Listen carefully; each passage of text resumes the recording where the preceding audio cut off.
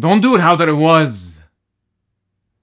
What's up guys, welcome back to another Mark Hachem video. Time for some language tips. So you just heard this uh, weird expression and you're like, what are you saying? So, that's an Arabic expression, specifically uh, used in Lebanon. Kif makin. Literally means how that it was. Now before I explain it, I want to cover those little expressions and words. We have to start with ma and ken to understand them separately. So let's jump right in. First, we have the term ma. Now, ma can be used as a negative term. Ma. Ma fi. There isn't. Ma biddi. I don't want. So far, so good? Okay. Alright, so if I tell you ma baddak, we'll know now that it means you don't want.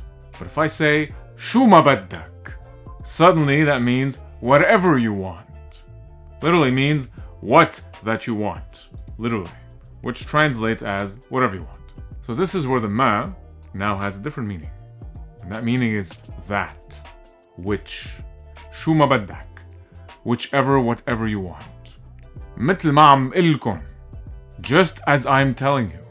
So ma becomes kind of a that, as, which, بعد ما, after which, قبل ما, before which, قبل ما تروح, before that you go.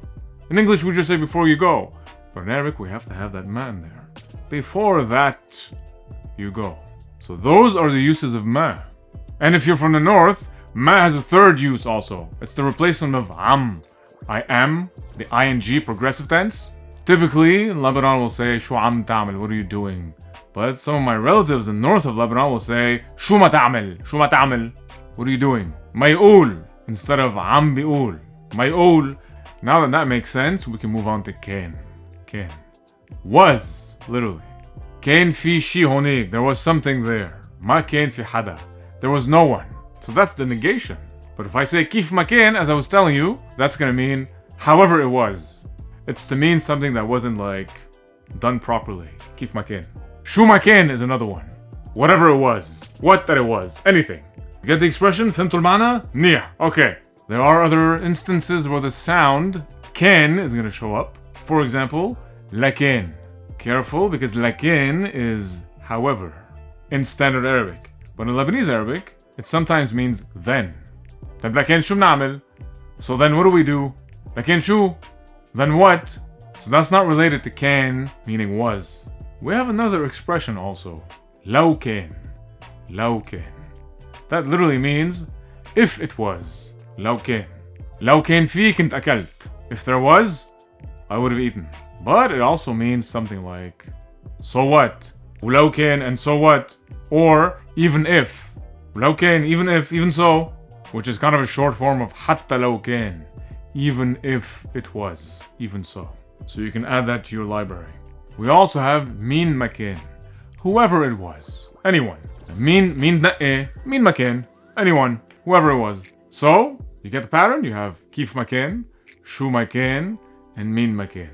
And of course, lauken, all of which are unrelated to laken, shulaken, which by the way, shulaken can be used to mean of course. Shulaken, of course, what then?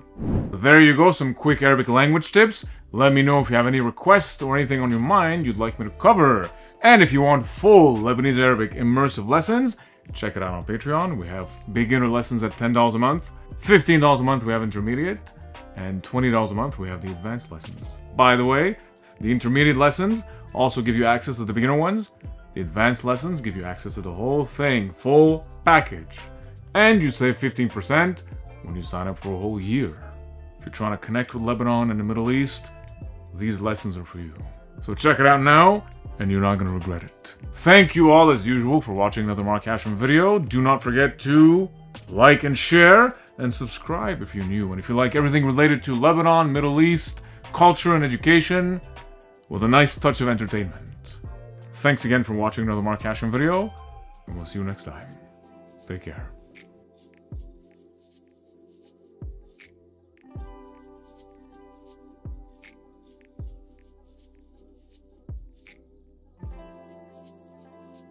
This is a rising picture. Duh.